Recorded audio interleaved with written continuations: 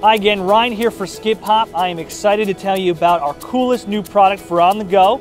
It's called the Grab and Go, and it is the perfect stroller organizer. The Grab and Go, made of neoprene, keeps not only one, but two beverages insulated. The Grab and Go is divided into three areas. You have two dividers for your beverages. In the middle compartment, you can store your favorite toy or a pair of sunglasses, while the front pouch, you can store your cell phone or a wallet. The front pouch zips off to become a wristlet for quick errands, and a headphone port keeps cords in place for hands-free calls when you're on the move.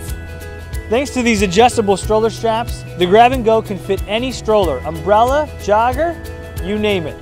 The Grab and Go is the perfect accessory to keep everything in your life organized while you're out and about.